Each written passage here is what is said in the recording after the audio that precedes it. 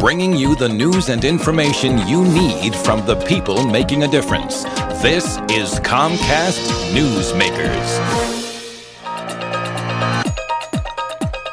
Welcome back. This is Comcast Newsmakers from the Washington State History Museum.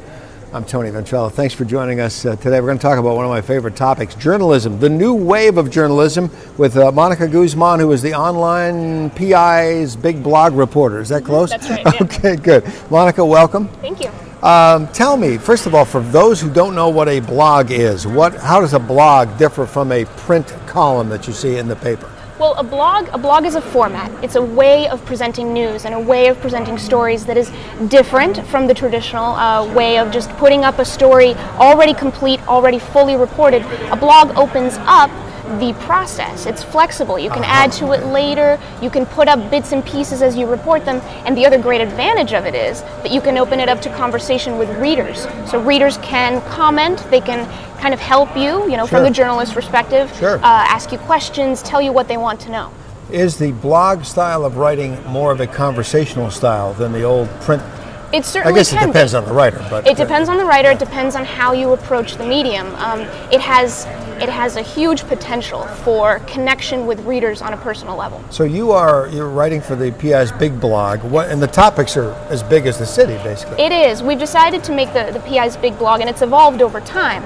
But uh, the big blog focuses on the stories that Seattle is talking about. Okay. That's that's the qualifier. So that can range from schools to politics to crime to mm, you know the economy, which it's all about this year. The- yeah. uh, as a person who started in the print newspaper business many years ago, and had to deal with editors, is the editing process similar, or how different is it? Let's It is similar in that we do strive for as much accuracy, responsibility in our reporting as ever before. However, it is faster. So in my case, I tend to get one edit rather than the traditional two or three Right. that a traditional newspaper story would go through. Now, the fact that it's the internet, you're talking about a blog being an ongoing story. You may have information today or tomorrow that you didn't have today, but you'll tell your viewers, "I'm checking this out. We'll get back to you." That kind of thing. Precisely. So Yeah. the idea, the, the viewers, standard. I mean, your, your readers. The standard by which you judge whether a story you're writing is complete is different because you can say, okay, well, is it complete enough so that I can give a fact?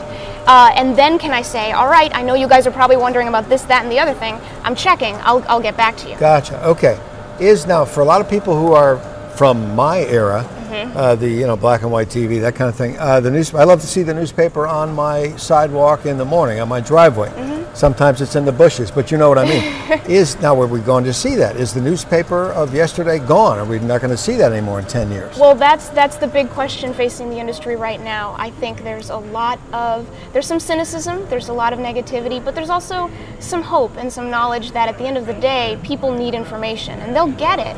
And when you really look at it, though the internet might be very slowly, you know, killing the business in some ways. What it is also doing is it's opening up all these connections and possibilities that we didn't have before. So if you take the business aside, which you really can't, Well- uh, it really is a wonderful thing for readers to have digital media they can access all the time, Right. that can be updated all the time, that they can contribute and comment on. Could the digital media not cross promote the print media, or is Oh. that not happening? Oh, it absolutely is. There's newspapers experimenting with just about every idea is being tried. And speaking of that, with only about 40 seconds to go with Monica Guzman of the uh, PI's big blog, what about neighborhood blogs? They're, they're big now, aren't they? Oh, they're huge, and Seattle is a great case study in the rise of neighborhood blogs.